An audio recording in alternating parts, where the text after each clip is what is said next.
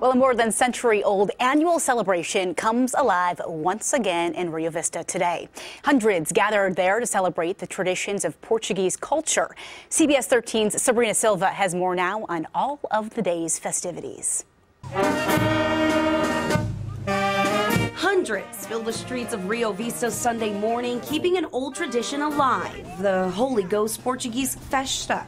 We're good, full blooded Portuguese. Welcoming folks from all over to honor the Portuguese culture with music, food, and its people. We're all family, we all love each other. A tradition that's been going strong in Northern California for 120 years.